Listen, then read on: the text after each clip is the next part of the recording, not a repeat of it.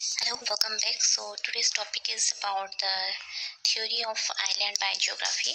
So before going in detail, let me tell you about what is the meaning of island. So island is a zone which covers 0.3% uh, of the country geographical area. It includes so many islands that example the Hawaiian Islands, the Tasmania, the Panama, the Sky Islands. Okay so we'll discuss about the different types of islands first. The first one is the oceanic island. So it never connected to the mainland source. The example is the hawaiian island. The second is the continental or the land bridge island. It is connected to the mainland during the glaciations or prior to flooding. So during glaciation or prior to flooding there is a chance of connection to the mainland. Example is the tasmania or Barro Colorado Islands. Then the third one is the virtual islands. Virtual islands are the isolated communities that are separated by some sort of barrier. Example is the Sky Island, the southeastern Arizona, southwestern New Mexico. So next comes is the theory of island biogeography. So it is discovered by Robert MacArthur and E.O. Wilson in 1967. So it is generally based upon the species area relationship about the species isolation and about the species turnover. Okay, so they first consider two important things. First one is the island size and distance from the mainland and that he describes as the richness. So what does it mean? The species richness is the the number of individuals of species in that particular area right? So it includes the island size and the distance from the mainland. So when the distant uh, island is in the distant position there will be lower rate of colonization However, this doesn't depend upon the dispersion mechanism of the species. And when there is small islands, there will be less habitat and there is small population so there is high rate of extinction okay? Because there will be intra and interspecific competition okay? So this is the biogeography theory.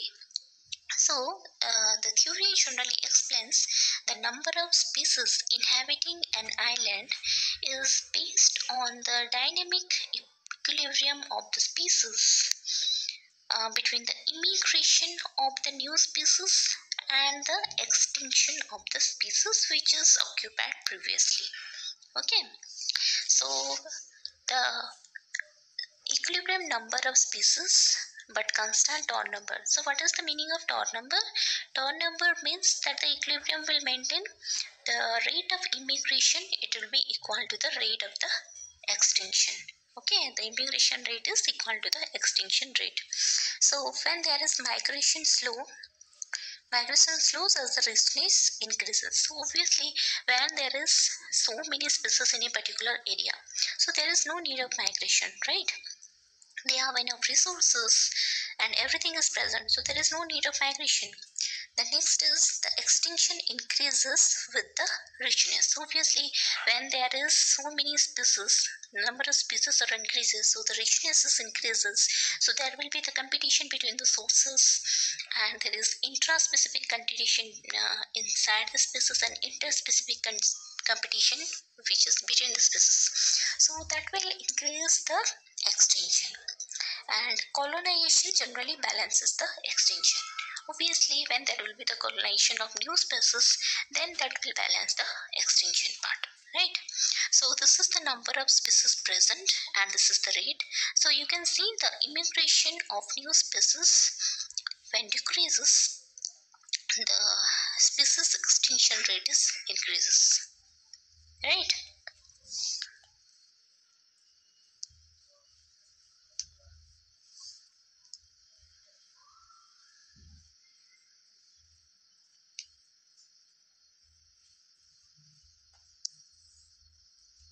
So balances the extinction.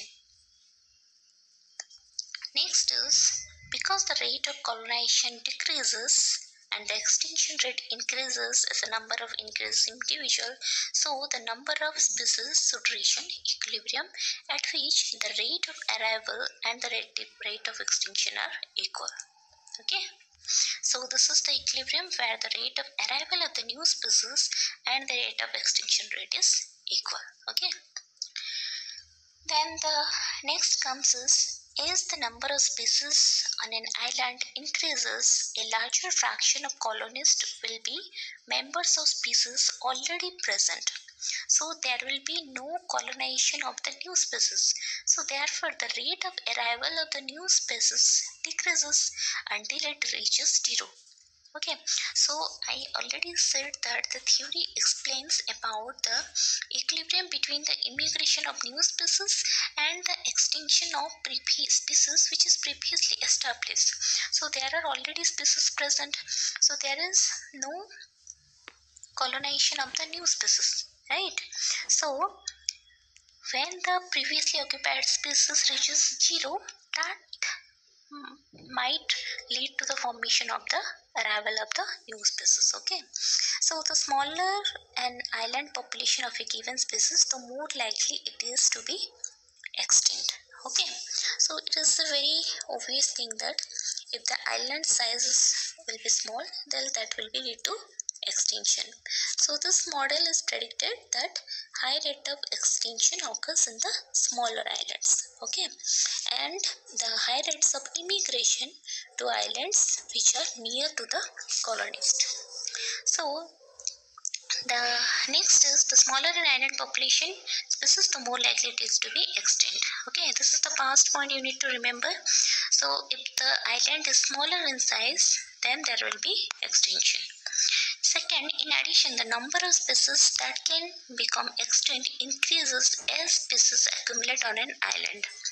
Because the rate of colonization decreases and the extinction rate increases as the number of species increases, eventually the number of species should reach an equilibrium at which the rate of arrival and the extinction are equal. Okay. So there are two hypotheses. One is dispersal hypothesis, one is Vicarian hypothesis. So in the dispersal hypothesis, the species was originated in one area and then dispersed to the other areas. But in Vicarian hypothesis, first the species are dispersed, then by the uh, speciation, it will occur. So that is occupied by a common ancestor. The next is about the theory. The theory explains about the pattern of the species richness in an island. I already told that the immigration and the extinction and the species richness is mostly tells about the size of the island. It is small or large island and the distance from the mainland. Whether it is very close to mainland or it is far from the mainland. Okay. So these four things we need to remember. It also explains the reason of lower number of species in an island. Over time, the countering forces of extinction and immigration result in an equilibrium level of species richness. So to understand this theory, take a look at the graph. The axis on the bottom of the graph is the number of species. If you follow the blue line, it shows that as the number of species increases, the rate of immigration begins to decrease.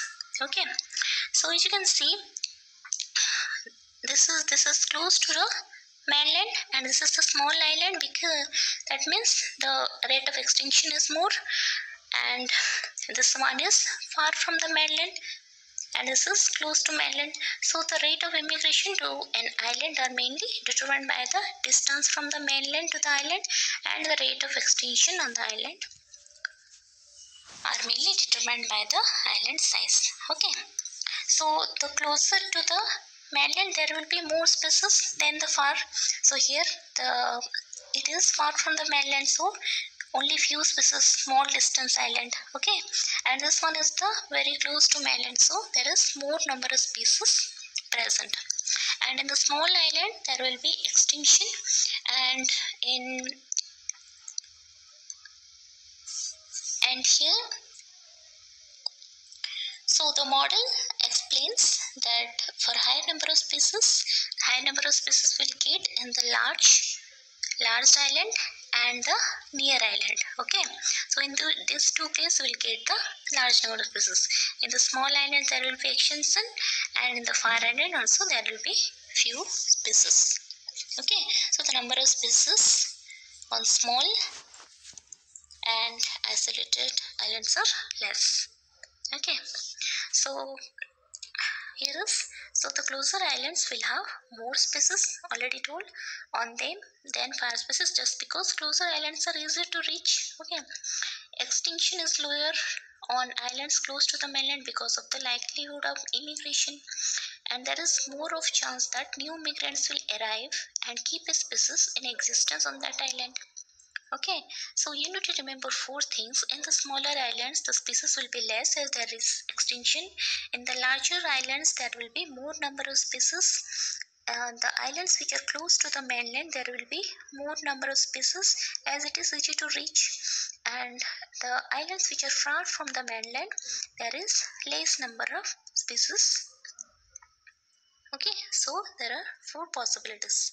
Okay so this is all about the theory of island biogeography so let me summarize